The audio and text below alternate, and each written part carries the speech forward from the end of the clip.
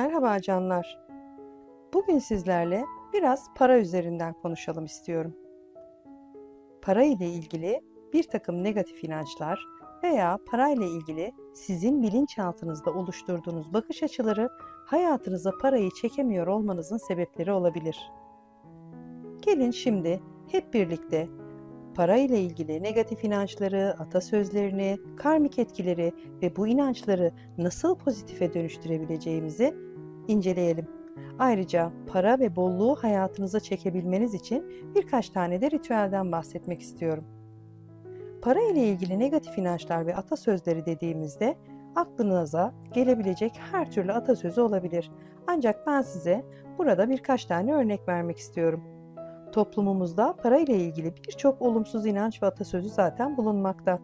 Bu sözler bilinçaltımıza parayla ilgili negatif kalıplar oluşturur ve bu da hayatımıza parayı çekmemizi ve bolluğu engellememizi sağlar. Örneğin parayı veren düdüğü çalar.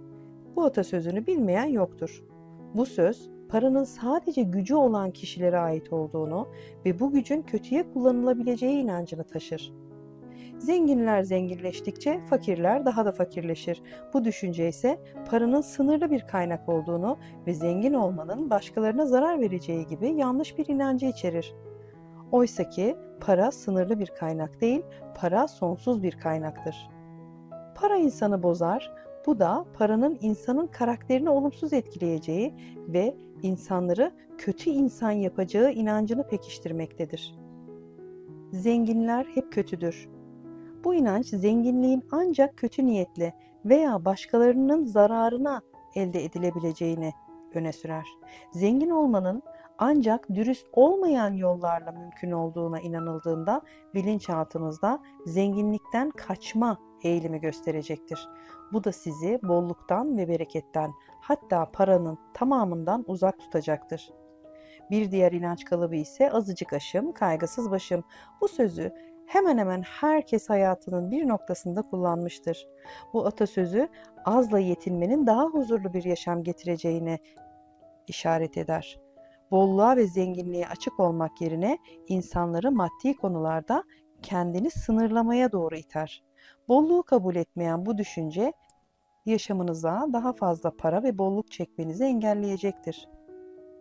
Parayla saadet olmaz.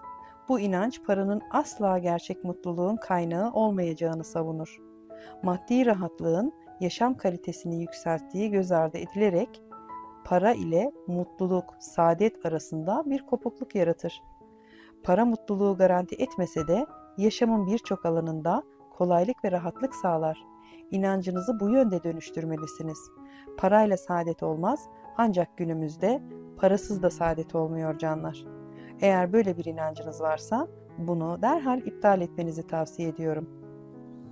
Bir diğer inanç fakirlik kaderdir. Hatta son zamanlarda çok duyduğum bir söz daha var. Coğrafya kaderdir. Bu inanç maddi yetersizliğin kaçınılmaz bir kader olduğunu ve değiştirilemeyeceği fikrine dayanır. Bu tür bir bakış açısı kişinin ekonomik durumunu değiştirme gücünü elinden aldığı gibi kadercilik anlayışıyla çabanızı da sınırlayacaktır. Bir diğer atasözü ise parayı bulursan dostlarını kaybedersin. Zenginlik ile sosyal ilişkiler arasında olumsuz bir ilişki olduğunu ima eder. Oysa ki sizi siz olduğunuz için seven hiç mi arkadaşınız yok? Elbette ki vardır. Yoksa zaten bunlar gerçek arkadaş değildir. Zengin olmanın insanı yalnızlaştıracağına inanıldığında bilinçaltı yalnız kalmamak için zengin olmaktan da korkabilir. Oysa para dostlukları bozmak yerine insanlara yardımcı olmak, bütüne katkı olmak, çok daha iyi ilişkiler kurmak için de kullanılabilir öyle değil mi? Çok laf yalansız, çok para haramsız olmaz. Bunu da oldukça fazla duymuşsunuzdur canlar. Çok paranın dürüst olmayan yollarla kazanılabileceği inancını taşır. Bu tür bir düşünce sizi maddi başarıdan kaçmaya doğru yönlendirecektir. Zenginliğin olumsuz bir şey olduğu algısını da güçlendirir. Oysa ki para dürüst ve etik yollarla da kazanılabilir. Unutmayın para her yerden, sağdan, soldan, alttan, üstten, önden, arkadan sınırsızca size gelebilir. Yeter ki siz Yaradan'dan isteyin. O ol der ve olu verir. Fakirlik gururdan gelir atasözü ise fakirliğin sizin kendi seçimlerinizden kaynaklandığını ve bunun bir tür gurur meselesi olduğunu savunur. Böyle bir düşünce sizleri ekonomik olarak gelişmeye çalışmaktan da alıkoyacaktır ve fakirliğin büyük bir erdem olduğu inancını pekiştirecektir. Oysa ki herkes daha iyi bir yaşamı hak ediyor öyle değil mi? Ve bunu elde etmek için de çaba sarf etmemiz gerekiyor. Para el kiridir. Bu inançta paranın kirli, kötü, değersiz bir şey olduğu düşüncesine dayanır. Para kazanmanın veya biriktirmenin çok kötü, olumsuz bir şey olduğuna inanan kişi bilinç altında da parayı frekans aracılığıyla, enerji aracılığıyla itecektir. Oysa ki para yaşamın doğal bir parçasıdır, hayatımızı sürdürmemizi sağlar. Bir diğer atasözü ise zenginlik göz çıkarır. Burada anlatılmak istenen şey başkalarının kıskançlığını üzerinize çekeceğinizdir ve bunun zararlı olabileceği inancını taşır. Kıskanılma korkusu, nazar değer gibi korkular sizi zengin olmaktan, parayı hayatınıza çekmekten ve bundan üstüne üstü kaçınmanıza sebebiyet verecektir. Oysa ki zenginlik doğru ve iyi niyetle kullanıldığında diğer insanlar için bütün içinde katkı olacaktır ve ilham verici olacaktır. Bu inançlar ve atasözleri bilinç altında yer etmiş negatif kalıpları temsil ediyor ve sizlerin para ile olan ilişkinizi de olumsuz etkiliyor canlar. Ancak farkına vararak ve pozitif düşünceye yönelerek bu kalıplar dönüştürülebilir ve para ile ilgili daha sağlıklı ilişkiler kurulabilir. Peki negatif inançları nasıl pozitife dönüştüreceğim? İlk adım olarak parayla ilgili olumsuz inançlarınızı fark etmelisiniz. Kendinize şöyle sorular sorabilirsiniz. Para benim için ne anlam ifade ediyor? Parayla ilgili düşüncelerim neler? Para hakkında hangi kalıplaşmış inançlarım var? Bunları belirleyip bir kağıda not edin canlar. Belirledikten sonra bunları olumlu cümlelerle değiştirmeniz gerekiyor. Örneğin para insanı bozar gibi bir kayıt varsa bilinçaltınızda şöyle dönüştürebilirsiniz. Para benim ve başkalarının iyiliği için bir araçtır. Onunla bu dünyada olumlu etkiler yaratıp bütüne katkı olabilirim. Negatif inancınız zenginlik bana göre değil olabilir. O zaman da bolluk ve zenginlik benim doğuştan hakkım, evrenin sonsuz kaynaklarına ulaşmayı hak ediyorum diyebilirsiniz. Para mutluluk getirmez gibi bir inancınız varsa, para hayatıma kolaylık ve mutluluk getirir, mutluluğuma katkıda bulunabilir şeklinde de dönüştürebilirsiniz. Bu tür olumlamaları özellikle sabah uyandığınızda ve gece uyumadan hemen önce tekrar etmek bilinçaltınızdaki negatif kalıpları dönüştürecektir. Parayla ilgili bir de karmik etkiler söz konusudur. Birçok kişi para konusunda bu etkilerden nasibini almıştır. Karmik borçlar geçmiş yaşamlarınızda ya da atalarınızın yaşamlarında yaşanmış deneyimlerden kaynaklıdır. Örneğin bir atanız çok büyük bir ekonomik sıkıntı yaşamışsa bu durum bizim genetik hafızamızdan para ile ilgili bir blokaj oluşturabilir. Atamızın yaşamış olduğu bu zorluk karşısında biz bolluk yaşarsak atamıza ihanet etmiş gibi de hissediyor olabilir bilinçaltımız kendini. Peki nasıl şifalandırabiliriz bu karmik etkileri? Meditasyonlar ve enerji çalışmaları ile.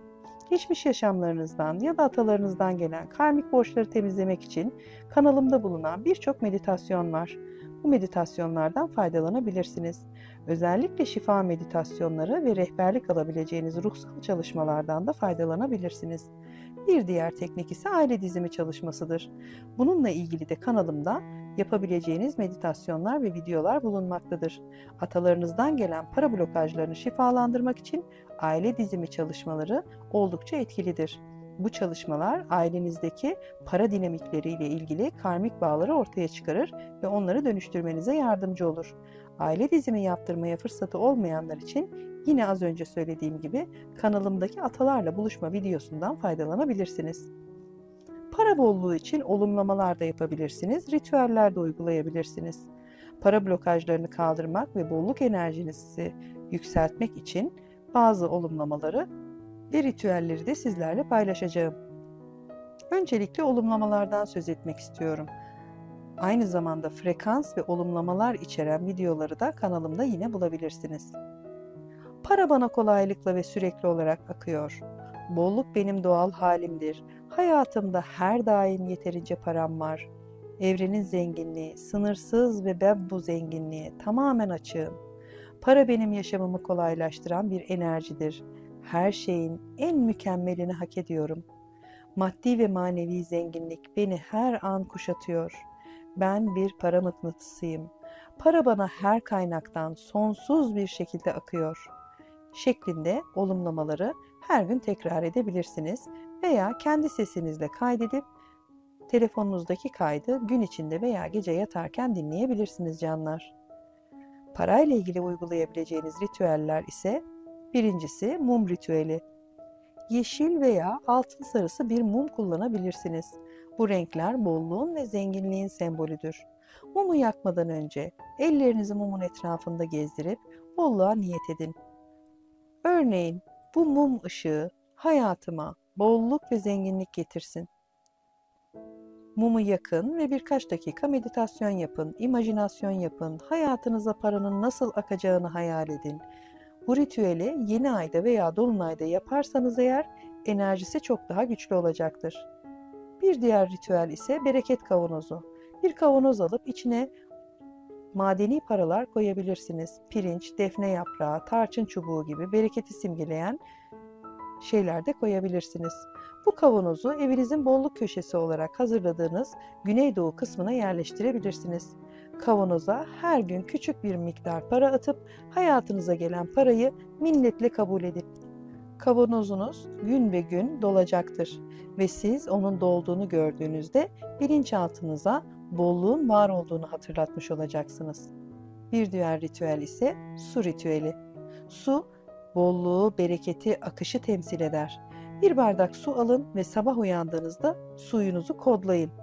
Çünkü daha önce de bahsettiğim üzere suyun hafızası var. Suyu elinize alın ve suya şu cümleleri kurun. Bu su gibi para hayatıma özgürce ve kolayca aksın. Suyu yavaş yavaş için.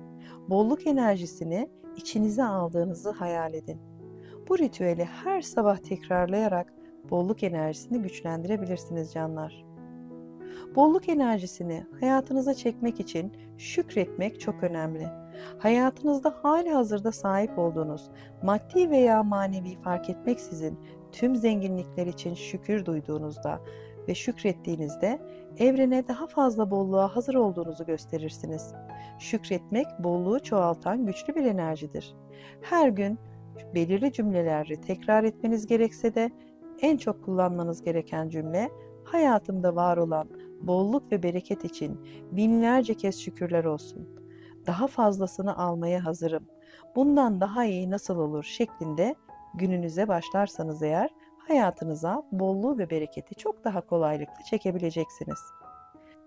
Siz de hayatınızdaki para blokajlarını kaldırmak istiyorsanız, bolluk enerjisini hayatınıza çekmek istiyorsanız öncelikle bilinçaltınıza yerleşmiş negatif inançlarınızı değiştirmeniz gerekiyor canlar. Sizlere bu video boyunca paylaştığım tüm olumlamalar, ritüeller, çalışmalar, para enerjisini serbest bırakmanıza ve hayatınıza daha fazla bolluk çekmenize yardımcı olacaktır. Az önce de söylediğim üzere kanalımda yüzlerce bolluk bereket frekans videoları bulunmakta, olumlama videoları bulunmakta. O videolardan faydalanın. Çok güzel sonuçlar ve geri dönüşler almaktayım. Sizlere de tavsiye ediyorum. Videomu sonlandırmadan önce sokak hayvanlarına vereceğiniz her bir tas mama ve su için hepinize sonsuz teşekkür ediyorum. Katlanarak, çoğalarak size geri dönsün. Bulunduğu bölgede sokak hayvanı olmayanlar için mama kumbarasının linki videonun açıklamalar kısmında mevcut. Gününüz gününüzden, geceniz gecenizden ala olsun. Sevgiyle ve hoşça kalın canlar.